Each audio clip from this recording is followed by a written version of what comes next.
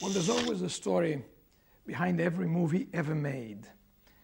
And sometimes the story behind the movie is more interesting than the story in the movie itself. And uh, Island of Death is no different.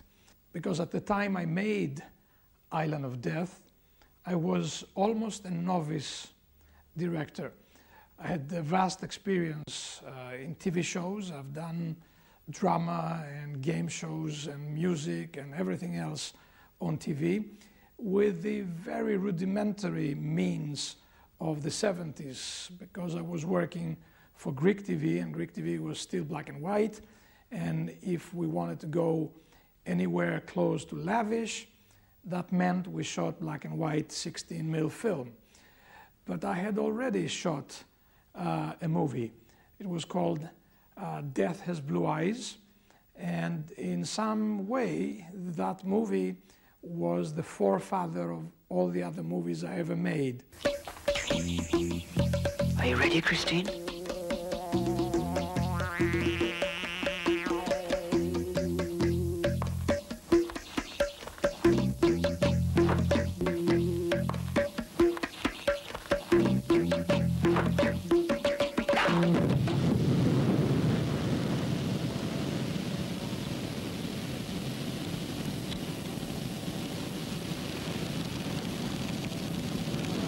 Oh, boy.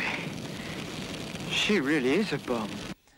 I was always attracted by the paranormal, the psychological, the thriller, the suspense element.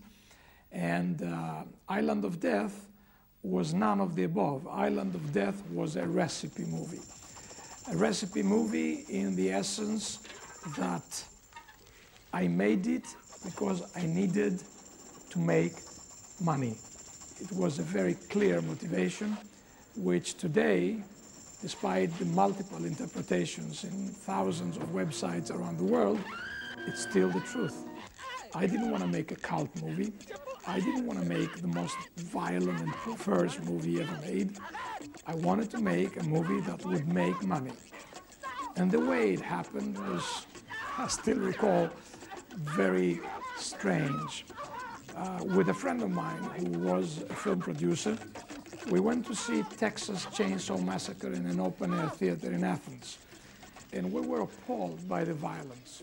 And after the movie, we were talking about Texas Chainsaw Massacre, and my friend says, you know, they made that movie for $100,000 and it made millions. And I said, why don't we make a movie for $30,000 and still be able to make millions? He said, how are we going to do that? And I said, we're going to make a movie that's more violent than Texas Chainsaw Massacre, more perverse from every point of view. And we're going to stuff in that movie every perversion and every violent act imaginable. Well, that to my mind was the key to foreign distribution, the key to foreign sales. So I sat down and in a week I wrote the script of Island of Death. And I wrote it formulaically.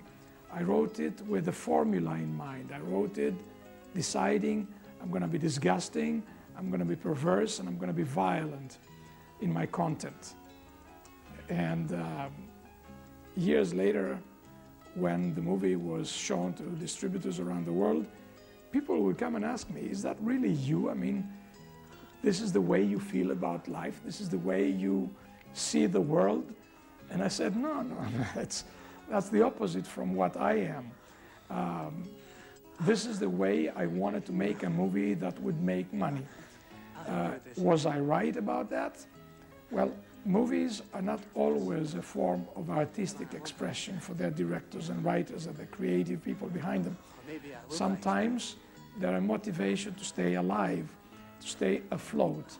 And this is what Island of Death was for me at the time. And I was absolutely 100% right. It worked. It made money and it made me a name almost bankable for uh, financiers that would be prepared to put money in a similar movie. Same genre, even more pushing the edge, pushing the envelope. Did I make that movie? I did not. And there is a story behind it also. My DP, dear friend that has worked with me for many, many years, uh, was held up in his previous movie and couldn't come to start my movie. Therefore, I had to become my own DP and uh, camera operator, and I did operate the camera. And because I was running out of money and I couldn't pay one of the actors that I needed at the time, um, he wanted something equivalent to today's $80. I decided to play the part myself. Now remember that it was painful, uh, not for me, but for the audience because I'm a lousy actor. Um, I don't know how I rate as a director, but as an actor, take my word, I'm a lousy actor. And um, I played the role of um, self-made detective investigator slash mystery writer who suspects that there's something wrong with the couple in the movie and he starts asking questions. Questions lead to conclusions and at some point he has what he needs, which is evidence. He has a murder. My name is Dimitris Spartas. I'm a novelist. Mm -hmm. I'm sorry to come in just uninvited, but uh, the door was open. I see. Uh, well, I'd like uh, to see you for some time. Fine. Uh, do you mind if my wife goes and lies down? You understand she's not feeling very well. Well, I understand after that. Okay. What happened? Fine. Um, have a seat. Sure. As I uh, told you, I'm a novelist. Yes. I'm working here in Mykonos, writing a novel, mainly about people, tourists, and uh, crime. Was Island of Death the most perverse and violent movie ever made? Well, probably uh, for the 70s, it was a pretty violent and perverse and bizarre movie. Uh, but the 80s and the 90s brought even studio product that was much more violent and much more twisted and still celebrated by the critics. Because I think that the critics uh, boost elements that even the directors don't know they had in their movies. Like, for instance, they discovered stuff about my movie that I never thought I put there.